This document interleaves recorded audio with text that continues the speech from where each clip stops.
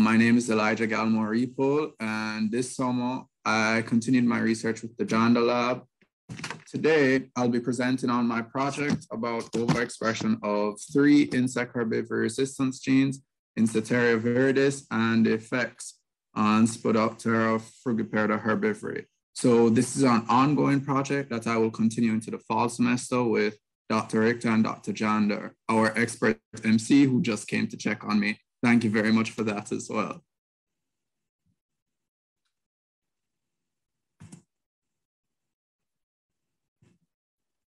All right, so. Okay. All right, so what's Spodoptera frugiperda? Uh, it's not echo, let me mute this one.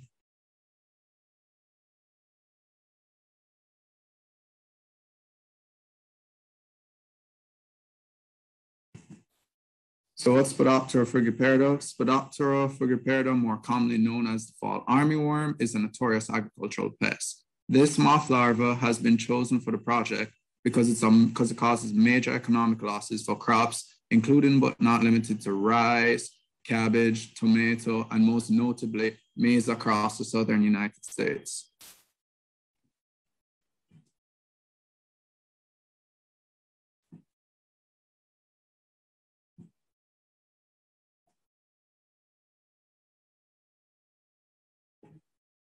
Okay, so what's Setaria viridis?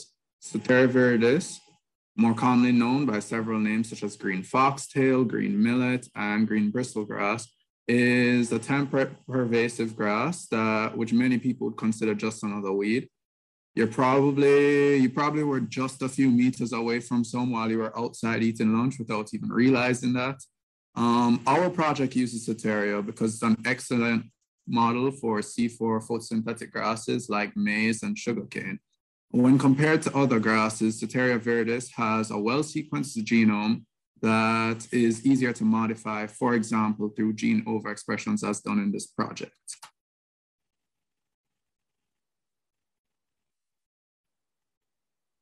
So the project I'm working on started off as Dr. Madia Mirzai's research on gene regulation involved in Setaria herbivory defense.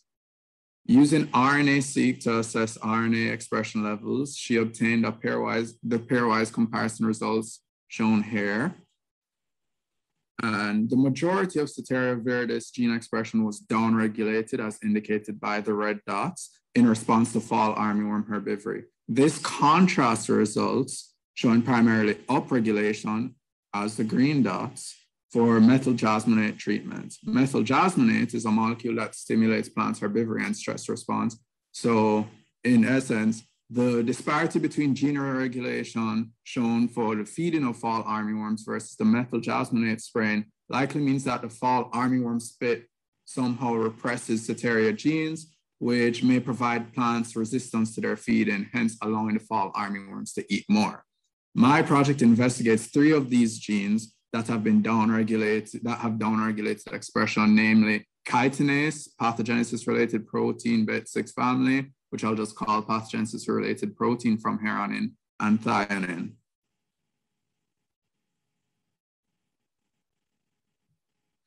So chitinase. So why chitinase? Chitinase was chosen as a candidate gene because it was discovered to be downregulated post-fall armyworm feeding but also because it's an enzyme that can degrade chitin that insect cuticles and exoskeletons are composed of. By breaking the glycosidic bonds shown here between chitin, within chitin, it reduces the structural integrity of chitin and it would arguably make Setaria less appetizing to the insect herbivores. I personally prefer eating things which don't degrade my mouth parts, but I'm sure the insects hopefully share this preference. All right, so why thionin? Thionin was also downregulated post-fall armyworm feeding. Unlike chitinase, this is a cysteine-rich pathogenesis-related protein and is more generally cytotoxic and has antimicrobial properties. And it was selected based on its capacity to disrupt cell membranes. So this could disrupt not necessarily just the membranes of insects such as fall armyworms, but just animal cells in general. So pathogenesis related protein, why was this chosen? Again, it was downregulated in a similar fashion post-fall armyworm feeding. However, as the name suggests, it's related to thionin, but the effects on insects may be similar to thionin, but are heavily misunderstood or unknown at this point in time. One thing which is known about this protein, which is interesting, is that it's one of the best known plant allergens for humans.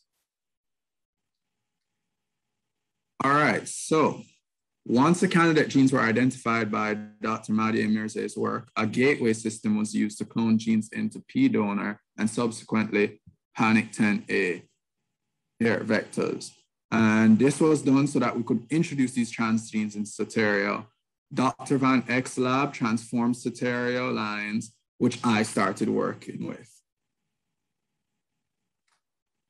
We will also use green fluorescent protein transgenic plants as a transgenic control. Since GFP is known to provide no herbivory defense, this control will demonstrate that this is not just any and every transgene insertion that can increase insect herbivory resistance of Setaria, but rather that any increased resistance would be coming from the specific candidate genes we've chosen to include hypothetically. So this would be either chitinase, thionin, or pathogenesis related protein.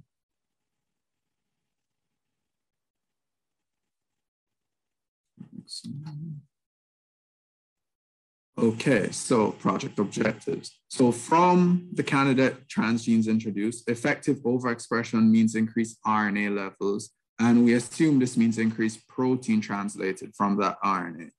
Hence, we are measuring the RNA or transcript level to determine if these genes are overexpressed. Once we confirm the overexpression, the next objective is to use comparative bioassays to investigate if this overexpression of these candidate genes provides Setaria plants with some resistance to fall armyworm herbivory.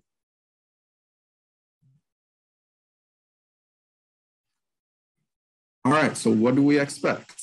It was expected that all three candidate genes would be effectively overexpressed in their respective Setaria lines, Additionally, it was also expected that there would that the comparative bioassays would display less herbivory in lines with candidate gene overexpressions, and therefore, on the opposite side of the same coin, we also expect more herbivory in the wild type and GFP transgenic lines that act as controls.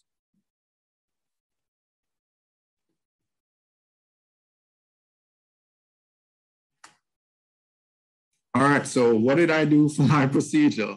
So first off, I started with germinating the seeds for different Setaria lines. Then leaves from the respective lines were harvested, first for DNA isolation and amplification via PCR polymerase chain reaction. The PCR product was then loaded into a gel and ran so that we could eventually extract these pieces, these bands from the gel once they seem to be the appropriate size of the gene and send them for sequencing at the Biotechnology Resource Center. Once we receive the sequences back from the Biotechnology Resource Center, we use MultAlin to investigate whether or not these sequences matched up with our reference sequences. So we did all these steps dealing with the DNA to confirm that one, it's integrated into the Setaria genome, and two, to ensure that the integrated DNA has the correct sequence. Once the candidate gene expressions were confirmed, we harvested new leads for RNA isolation, cDNA synthesis, and the cDNA that was synthesized from that RNA isolate was used for quantitative real-time PCR, qPCR for short. qPCR allows us to compare the levels of expression among the various Setaria lines, so we could know which lines candidate gene expression was higher. Finally, selecting the plants with the greatest overexpression of candidate genes, fall armyworm bioassays were and will continue to be conducted. So far, we've conducted a pre-experimental bioassay.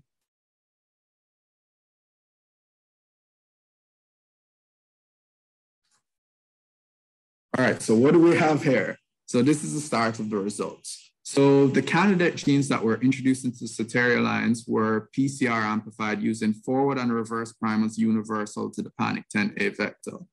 So this entire insert here was integrated into the Setaria genome. Whether it's one time, two times, three times, we are not unsure of that, but we ran all of these all of these tests, all of this procedure with relation to the DNA to ensure that this is successfully integrated and to ensure that the sequence match.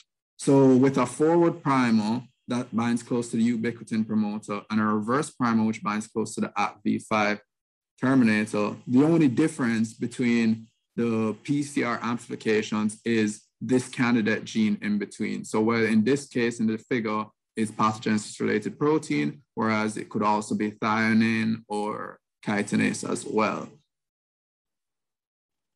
So we also, as I said before, we got the sequence and the genomic DNA isolated from the Setaria lines match a reference sequence for all candidate genes. As seen with this beautiful red right here, and the consensus being completely red as well, there was a 100% match for all of these, which was awesome.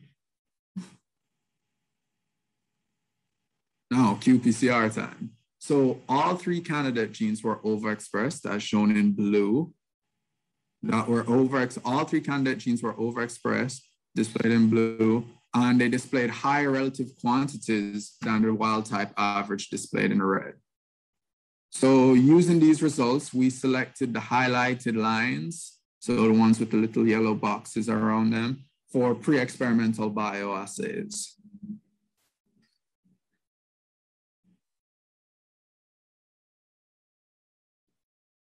So what's next for the project? As it says there, more dancing caterpillars, but also more bioassays. So, so far we only have conducted pre-experimental bioassays with small sample sizes for Setaria lines and fall armyworms. So during the fall semester, I'll be conducting herbivory bioassays with more caterpillars and biological replicates for the respective Setaria lines. I will also include GFP transgenic plants as a transgenic control alongside the wild type control for the reason which I previously mentioned to ensure that we show that it's not any arbitrary transgenic insertion which confers to this insect herbivory resistance. Okay, so first off, with the acknowledgements, I need to thank and give a classic Jamaican big up to all current and former members of the Jander Lab who have helped my project or have just been great to work around thus far. This big up and thanks especially goes out to Dr. George Jander and Dr. Annette Richter.